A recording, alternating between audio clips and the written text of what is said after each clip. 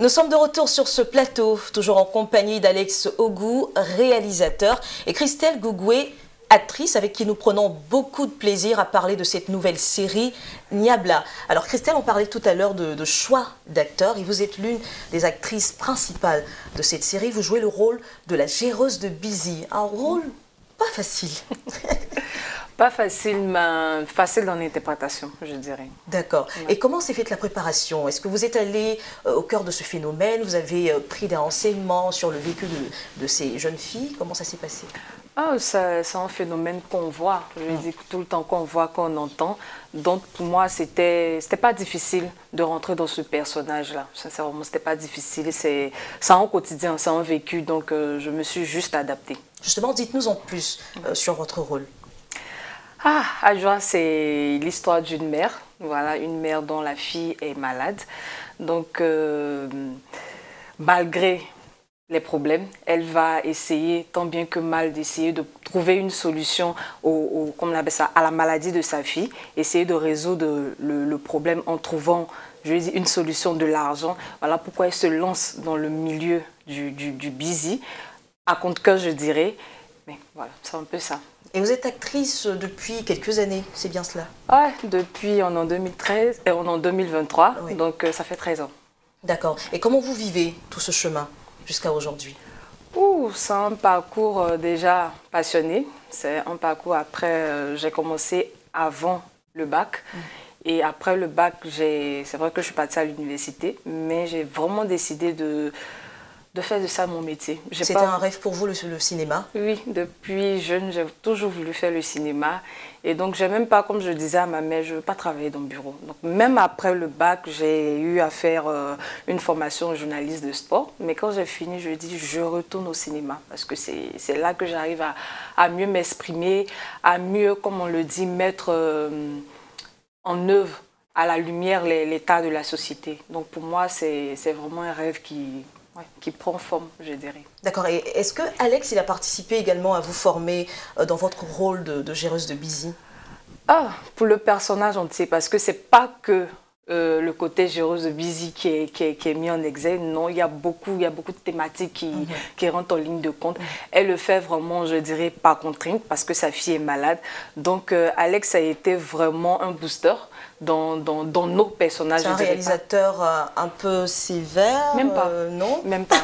Même pas. Pas parce qu'il est là sur le plateau. Non, pas du tout. Honnêtement, on aimerait bien savoir. En tant que réalisateur, c'est l'un des réalisateurs que j'affectionne beaucoup mhm. parce que c'est vrai que j'ai eu réellement à travailler avec lui en long. Je lui ai dit sur cinq mois sur ce projet, mais j'avais déjà fait deux, deux, autres séries avec lui. Mhm. Oui, Justement, vous avez euh, joué, vous avez été secrétaire, secrétaire Diane, c'est bien cela Oui, dans Obatonga avec oui, euh, lui. Euh, Aline également. Non, Aline, Aline dans Obatanga. Dans Obatanga et secrétaire Diane dans l'interprète, c'est ça Oui, dans l'interprète, oui. ça. D'accord, elle est un peu...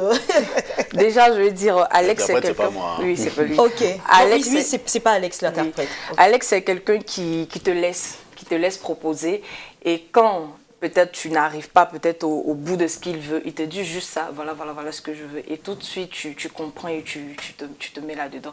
Il n'exige pas, il n'écrit pas, il ne, te, il ne te fuse pas sur le plateau parce qu'il y a, y a beaucoup de réalisateurs qui le font. Donc tout de suite, euh, tu perds tes moyens, tu perds tes sens comme on le dit. Donc c'est quelqu'un qui communique beaucoup avec l'acteur. Donc ça te facilite, ça te permet d'être à l'aise. Et elle vous a tout de suite convaincu euh, dans, dans, le choix de, de, ce rôle, Christelle? Ah oui, oui, assez, assez rapidement. Assez, rapidement. Oui, comme, euh, comme j'avais dit tout à l'heure, euh, d'abord, elle m'a été proposée par Evelyne, la casting. Et, cette, je veux dire, cette intuition, oui, m'a convaincu assez rapidement. quand j'ai vu ses essais, et ensuite, évidemment qu'on se connaissait aussi par rapport à, au, au Batanga. Euh, mais là, c'est un autre niveau, on va dire. C'était un autre niveau de rôle, en tout cas plus important, plus présent et plus, plus complexe. Et, euh, on, a vu, non, on a vu clairement qu'il était à la hauteur. Est-ce que Alex, il est, il est en quelque sorte un, révélateur de talent également? Parce qu'on l'a dit, on voit dans ce film de nouveaux talents comme d'anciens talents. Est-ce que c'est, vous êtes un révélateur de, de talent? Vous laissez la chance à... Oui, non, je veux dire, si, si on constate ça, tant mieux Je ne peux pas moi-même me lever et dire je rêvais des talents, ce, serait, un peu euh, prétentieux. Vous voyez la petite graine et puis vous vous dites ça, va, ça va matcher. Oui, enfin, je, veux dire, je, je pense sentir, sentir l'essence d'un acteur comme devrait le sentir un réalisateur, hein, enfin, pas ni plus ni moins. après, c'est vrai que moi, je considère que je travaille avec des collaborateurs. personne n'est à mon service, personne n'est au service du réalisateur, que ce soit les techniciens et les acteurs on travaille de manière collaborative. Donc, un acteur, je veux dire, euh, un acteur, c'est quelqu'un qui, a un cerveau, qui a un corps, et qui est d'abord le premier à être maître de, ses émotions, maître, de son corps, etc. Mhm. Donc, j'estime que quand on a fait un casting et qu'on se retrouve en situation de travail, ben, l'acteur, il sait ce qu'il a à faire, il doit me proposer quelque chose par rapport à ce qu'il a lu, sa compréhension et son travail du rôle, du personnage. Moi, je suis là pour guider, c'est comme un chef d'orchestre. Les chefs d'orchestre n'apprennent pas aux musiciens à jouer. Non, ils savent déjà jouer. Ils savent déjà jouer. Il ne fait que diriger. Euh, Exactement. Donc je prends vraiment mon rôle comme ça et dans le plus grand respect des acteurs. Mhm. Elle a dit quelque chose qui est très très juste, qui est que, après chacun fait comme il veut, comme il peut, hein. mais je veux dire, euh, l'essence d'un acteur, c'est la sensibilité. Je veux dire, aucun acteur dans le monde ne peut dire qu'il n'est pas sensible. Dire, on ne peut pas faire ce métier sans la sensibilité. Donc, euh, pour moi, c'est un peu logique et normal que si une personne aussi fragile, et je, je prends le terme fragile, parce qu'un comédien, c'est fragile aussi, quoi. Quelqu'un qui est fragile, qui est sensible, qui doit faire son travail devant des gens où il y a, de la, il y a des, questions qui rentrent en jeu, qui sont de la pudeur, etc. Vous, vous criez dessus, vous la mettez en inconfort, mhm. elle ne peut pas vous sortir le meilleur d'elle-même. Enfin, c'est juste logique, c'est humain en fait. Donc, euh, je veux dire, ce n'est que ça qui me guide, c'est pour obtenir la meilleure partie ou le meilleur, la meilleure contribution d'une personne, que ce soit un acteur, que ce soit des techniciens, et même vous certainement dans votre domaine, ou n'importe qui dans, dans, son milieu socio-professionnel, ben, il faut un minimum que la personne se sente à l'aise, se sente bien en fait. Si la personne ne se sent pas bien, elle ne donnera rien. Donc euh, voilà, pour moi, c'est juste ça, en fait. C'est juste ça qui me guide. Mhm. Alors Christelle, vous incarnez un rôle, on va dire, assez complexe, mais qu'est-ce qui vous marque moi, pour moi, dans ce rôle, dans ce, dans ce personnage, dans ce rôle, c'est plus le message que je vais véhiculer à la fin. Voilà, c'est plus ça. Une mère qui, qui, est prête à tout pour sauver sa fille malade. Mhm. C'est ça le message. Atteinte de drépanocytose. Oui, atteinte de drépanocytose. Donc, c'est ça le message marquant. Voilà, c'est ce qui m'a poussé réellement à, à donner tout pour ce personnage. D'accord. Et vous, euh, Alex, est-ce qu'après chaque euh, réalisation, vos films ou vos séries vous laissent une empreinte assez particulière? Oui, quand même. Ah non, quand même. Ce sont, euh, ce sont des voyages intérieurs très, très puissants hein, quand on travaille sur, sur des productions. Parce qu'il y a, il y a ce que vous, le téléspectateur, voit le temps, le temps d'un épisode ou le temps de la durée d'un film. Mais nous, pour arriver à, à, vous montrer ça, c'est des mois de travail, des mois de tournage et avant ça, des mois de préparation et de réflexion pour, pour les auteurs.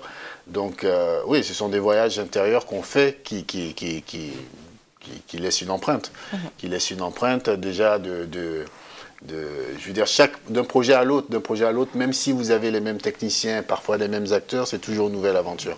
C'est toujours une nouvelle aventure, un nouveau voyage, parce que c'est pas les mêmes histoires, c'est pas les mêmes décors, c'est pas les mêmes émotions que vous véhiculez.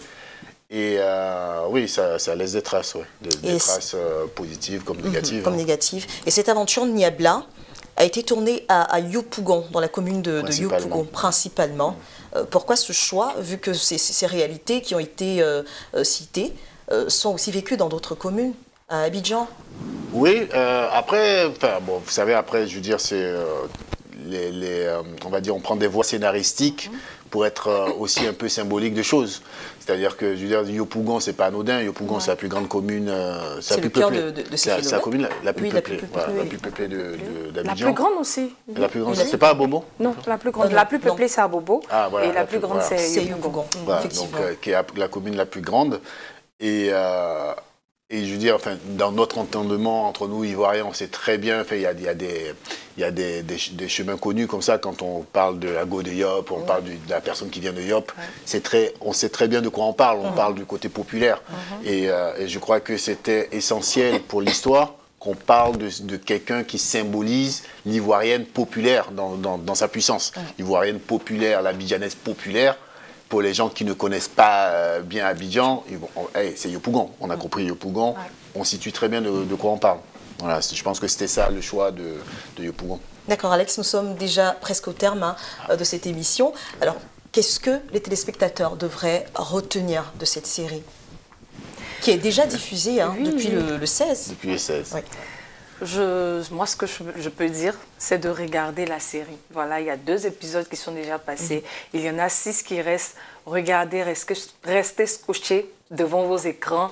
Suivez la série d'épisode en épisode pour pouvoir comprendre. Parce que là, déjà, il y a Siablé qui est arrivée. Elle a commencé à me chercher. Mhm. Donc, euh, suivez pour savoir pourquoi elle me cherche. D'accord, c'est bien noté. Et vous, Alex? Oui, je dirais, j'encourage euh, effectivement les téléspectateurs à suivre la série parce que parce qu'ils vont, ils vont retrouver des choses de la vie quotidienne, mais abordées d'une manière euh, euh, franche, incisive, directe, ou euh, sans, faux, sans faux semblant. C'est une série qui a beaucoup de rebondissements, donc beaucoup de suspense, et je pense que c'est plaisant de, se laisser embarquer dans un voyage comme ça. Il y a, il y a beaucoup de suspense, mmh. beaucoup de, thématiques qui, qui, je pense, nous ressortent un peu grandis. Euh, parce qu'on apprend, on apprend des choses euh, très importantes de, nos vies et de, de, la vie de nos voisins. Et je crois que le cinéma que j'ai envie de faire, pour terminer, hein, euh, le cinéma que j'ai envie de faire est un cinéma qui, qui dit aux gens, regardez votre voisin, écoutez-le, comme lui peut aussi vous regarder et vous écouter. Merci à tous les deux d'avoir répondu à toutes ces questions. C'est la fin donc de notre entretien. Je souligne que Niabla est l'unique série africaine sélectionnée lors de la dernière édition du, Festival euh, de la fiction de La Rochelle. Un film à découvrir en exclusivité euh, sur Canal+. L'actualité continue, bien sûr, sur cette info et sur cette info.ci.